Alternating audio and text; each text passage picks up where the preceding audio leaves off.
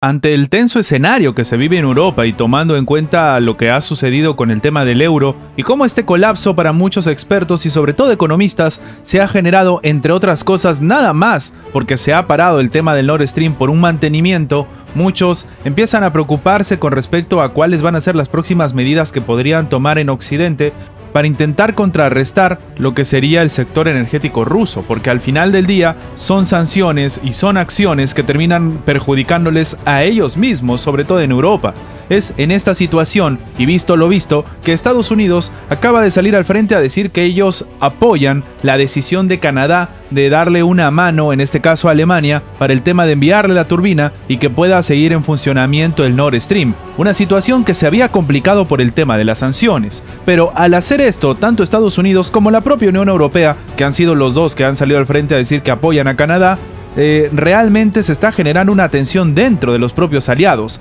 y es que este sería un directo mensaje a la administración de Volodymyr Zelensky, el cual estaba en contra de lo que estaba haciendo Canadá. Así las cosas, todavía se demuestra cierta división entre lo que es en este caso Ucrania, un país que quiere ser parte en este caso de los aliados, y obviamente del bloque de Occidente que para algunos eh, diplomáticamente le ha dicho un no rotundo y una situación en la cual debería entender su lugar al presidente Volodymyr Zelensky. Antes de empezar te invitamos a que te suscribas al canal si aún no lo estás y a que actives la campana de notificación.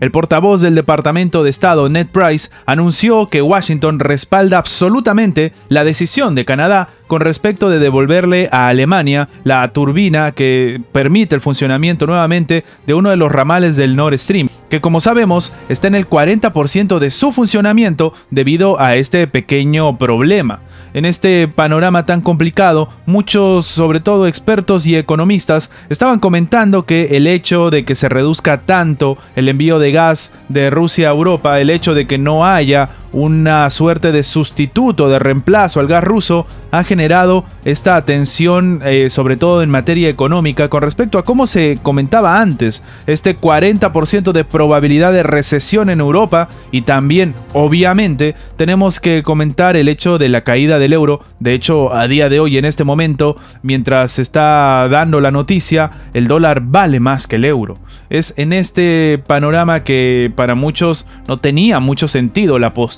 con respecto, sobre todo, de, en este caso, Ucrania, que de manos de Volodymyr Zelensky estaba muy en contra de lo que estaba haciendo Ucrania, llamaron incluso a consultas, incluso a representantes estadounidenses quejándose de lo que estaba haciendo, en este caso Canadá, pero claro, si al final del día lo hacen precisamente para rescatar económicamente a uno de los aliados que encima está enviándole ayuda a Ucrania, pues obviamente la situación se respondía sola. Para muchos es otro desacierto diplomático por parte, en este caso de Volodymyr Zelensky, y claro, en esta situación no solamente iba a salir la Casa Blanca y no solamente iba a salir Ned Price a hablar al respecto, ya que incluso hasta el portavoz de, en este caso, la Comisión Europea, Johan Bark, salió al frente a decir que la propia Unión Europea ve necesario realmente prepararse para cualquier eventualidad en el contexto de esta devolución que se estaba dando, ya que le estaban apoyando. Claro, ahora la situación ha cambiado bruscamente, sobre todo para, en este caso, Ucrania, porque precisamente los ucranianos quieren unirse a la Unión Europea. Claro, si en esta situación te vas en contra de lo que dice incluso Bruselas, pues no quedas muy bien parado y recordemos que en este momento Ucrania no es un país miembro, tiene el rango en este caso de país candidato a unirse a la Unión Europea, en el cual debería demostrar mediante sus eh, mecánicas democráticas y mediante eh, obviamente incluso sus posturas políticas que está dentro de este famoso espíritu europeo que busca sobre todo Bruselas a la hora de terminar uniendo a un país en específico a la Unión Europea. Entonces para muchos este ha sido una suerte de jalón de orejas y tal vez el primero y no último que le está ejecutando Washington y Bruselas a la administración de Volodymyr Zelensky para que entienda cuáles son las verdaderas prioridades en lo que está pasando y no esta, por así decirlo, disputa encarnizada en el cual no importa el precio que se está pagando con tal de atacar a tal o cual país, que evidentemente en este caso deberíamos estar hablando de Rusia. En un segundo punto igual de importante, ya empiezan a salir diferentes aliados del sector energético ruso e incluso que traspasan no solamente los continentes, sino está yendo más allá y precisamente uno de estos es en este caso el tema de los BRICS. Como sabemos, dentro de los BRICS está obviamente Brasil como uno de los países miembros que hablando desde un sector y desde una situación totalmente económica, le conviene ciertas jugadas estratégicas para poder seguir trabajando con Rusia o, por qué no decirlo, aprovechar el sector energético que otros países no están haciendo. Por esto, Bolsonaro acaba de anunciar un acuerdo para comprar diésel de Rusia. Ahora, llama la atención lo que ha dicho Bolsonaro porque demostraría por qué el sector energético ruso está siendo una de las cartas tan fuertes que tiene Rusia en este caso para poder eh, salir al frente y poder incluso sortear las sanciones que Occidente le está imponiendo de manera tan abrupta. Y es que el presidente brasileño Jair Bolsonaro acaba de anunciar que en este caso el principio de este acuerdo que se está llevando a cabo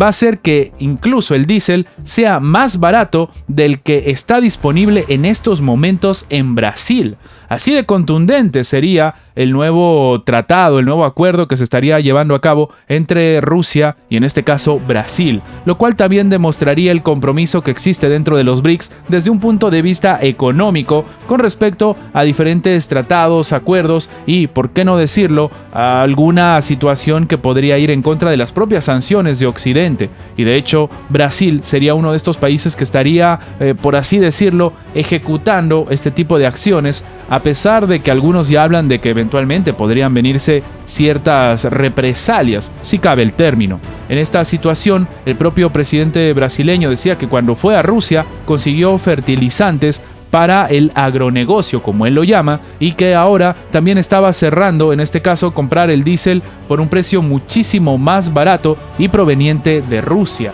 Esto también muchos expertos empiezan a preguntarse si tiene que ver o tiene contacto directo o impacto directo en las sanciones, es decir, si por ejemplo lo que hace Brasil comprándole, haciendo este tipo de acuerdo a Rusia, terminaría haciendo que por ejemplo Estados Unidos le imponga sanciones, en este caso a Brasil. De momento la respuesta corta sería que no, ya que este es un tratado de nuevo comercial y que se estaría dando en la plataforma de los BRICS. De hecho, ya hace dos semanas Bolsonaro había hablado de esta posibilidad y también confirmó que el tema había sido debatido en conversaciones con el presidente ruso Vladimir Putin, lo cual para algunos también era una suerte de espera a ver cómo reaccionaba la comunidad internacional con respecto a esta nueva acción que está tomando Brasil y como no ha visto cierto impedimento y obviamente también se ha analizado desde el punto de vista legal dentro del gabinete brasileño, se ha tomado esta decisión en la cual habría que ver si es totalmente real lo que se dice. Incluso para algunos podría significar una locura, poder traer desde Rusia este tipo de materia y que sea más barato que incluso en el propio Brasil en este momento, significa que no solamente el precio del combustible es absolutamente más económico, ya que incluso en este estaría el cargo del transporte, sino que también se estaría dando cierta estabilidad energética a un país que si bien no tiene las mismas características de una eventual eh, riesgo de crisis energética como sí sucede, por ejemplo, en el sector o en los países de Europa, eh, también significa obviamente una suerte de poder mejorar el estilo de vida y también obviamente el mercado interno. Ante este escenario y tomando en cuenta las palabras del presidente brasileño, ¿qué opinas tú? ¿Acaso es tan difícil, como dicen algunos, quitarte esta, entre comillas, dependencia del sector energético ruso? ¿Es realmente el sector energético ruso tan contundente que las sanciones le van y le vienen y simplemente no va a pasar absolutamente nada? ¿Y qué desierto hay con respecto a que se podrían tomar represalias con los países que no respeten las sanciones? Al hacer esto Brasil no está respetando las sanciones o es que el tema de los BRICS realmente tiene tanta contundencia y por esto algunos otros países quieren unirse a él? Déjanos tu opinión abajo en los comentarios. Y antes de terminar con el video, queremos agradecer a los miembros del canal que mantienen en pie este proyecto. Muchas gracias por su inmenso apoyo. Gracias por ver nuestro video. Recuerda que tu like nos ayuda mucho a seguir creciendo. Suscríbete para más contenido y nos vemos en la próxima.